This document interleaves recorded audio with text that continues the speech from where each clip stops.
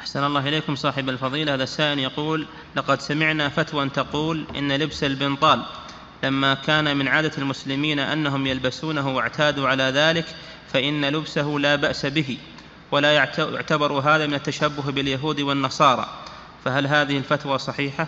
نعم هذه صحيحة. إذا كان اعتاد المسلمون في بلد من البلدان اعتادوا لبس البنطال للرجال يعني الرجال. فلا بأس بذلك.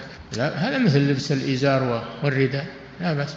إذا كانوا يلبسون إزار أو رداء أو كانوا يلبسون بنطال سترة وبنطلون أو يلبسون القميص حسب عادة البلد. حسب عادة البلد. نعم.